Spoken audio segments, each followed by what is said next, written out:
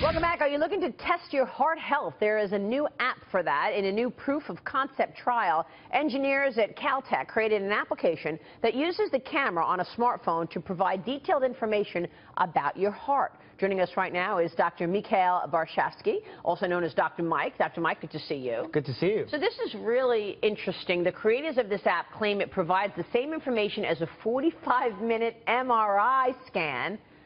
You Well, buying it? Actually, um, the way that they tested it is they tested it against the MRI machine because that's the most accurate test. But in reality, what they're trying to replace and make a substitution for is the echocardiogram, which is basically an ultrasound of the heart. And it takes 45 minutes. It takes an experienced technician to do the exam. It's money, it's time. And if we could have a smartphone app to replace that process, that's amazing. But this is very early on. This is a proof of concept trial with 72 patients.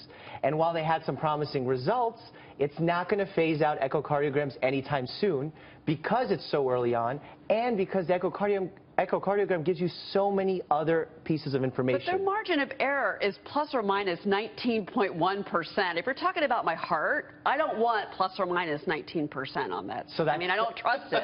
I just don't. That, that's very, I understand why you feel that way, but actually that's a great margin of error because an echocardiogram compared to the MRI has an error of 20%. So 19% Well, is actually lower. and we're using the Wow. echocardiogram because it's cheaper and much quicker than the actual MRI. Mm. Um, if you look at, in general, the way that patients go and get these echocardiograms, the reason we do it is not just to get this measurement of the ejection fraction. We look for a lot of information. What the heart looks like, what the valve looks like. Is the heart expanded? Is it smaller than it should be? So this app is great for possibly a screening tool to see who should get an echocardiogram. And it can be a first step to start that process. Let me ask you about carbohydrates, because now we're learning that carbs may have a larger negative impact on heart health than fat. According to the prospective Urban uh, Rural EP, uh, Epidemiology, this group examined the eating habits of 125,000 people in 18 countries and found carbs worse for cardiovascular, worse risk factors there. This is really interesting because carbs turn into sugar, don't they? So carbs, carbs represent a whole spectrum of foods, but they get turned into glucose, which is the form of sugar that your body can actually utilize. And there's been this huge debate of whether it's fats, is it sugars, is it carbs, what's causing the heart disease in our nation, what's causing the obesity. And there's been documentaries made about this. What the Health documentary made a very strong stance saying that carbohydrates are not responsible for diabetes, which is not totally true Correct. um, disagree with that statement. But what this Pure study has done, and it's a really great study because it's done on five continents, a huge uh, population, 125,000, it showed that eating carbohydrates in high amounts percentage-wise. So 75% of your diet, 65% of your diet shows that your heart disease risk goes up. When you lower your fat intake, your chance of dying from all causes goes up.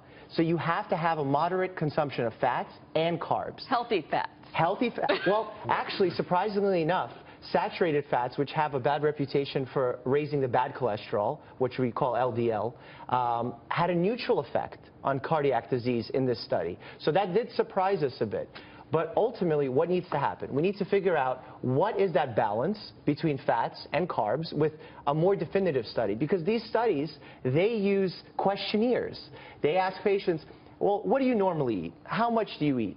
And I can pretty much ask any one of you here, what did you eat two weeks ago? You think you're going to remember it accurately? It also goes Well, back Yeah. I will because I'm on, I'm on a high protein, low carb diet. There you And go. by the way, I've done this for a number of years. My cholesterol has been very low. My heart rate very low. By And I'm doing high great health. protein, low high carb? protein, low carb, and not be so worried about fats because our body needs fats. Um, Also, exercise plays into right, this, though. I mean- Exercise to a degree, And- and your cardio cholesterol has always exercise, been low. low impact cardio exercise is sufficient. Yeah, my cholesterol has been always low, and it's Have you low, ever and had been- an issue with cholesterol? no, and I, and I, and I went to a very high protein diet where I'm eating steak twice a day, um, protein, um, vegetables, and, and very low on the carbs. And you know, Well, It's working for you. There, Yeah, are, a there are healthy carbs out there. So it, stick, stick to the healthy carbs, avoid the added sugars, uh, keep them whole grain, healthy vegetables, that kind of stuff. Dr. Mike, great stuff. Thank Yeah. you.